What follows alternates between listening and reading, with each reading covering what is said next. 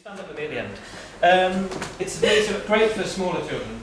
And did you notice again it's scales up and down. It's all that sort of very simple early early doors patterns. Uh, so here we go. Zoom, zoom,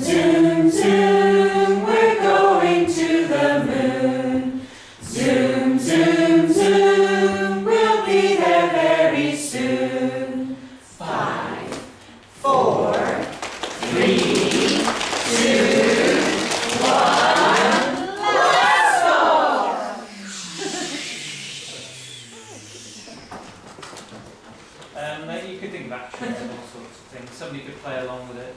Um, I put a little Figurenotes tune of that in your packs. I think we should have. We should all have a pack of it. Um, really, really fast. Ready? Here we go. Zoom, zoom, zoom,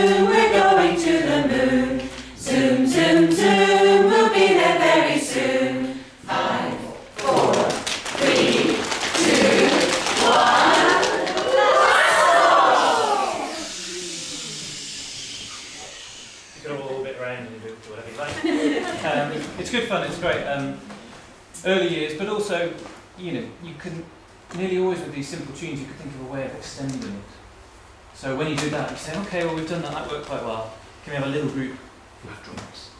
So when they do the countdown, they have to get on the drums to make the countdown.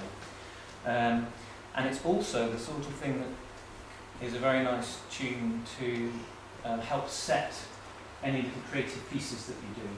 So it could be that you start your little performance with zoom, zoom, zoom.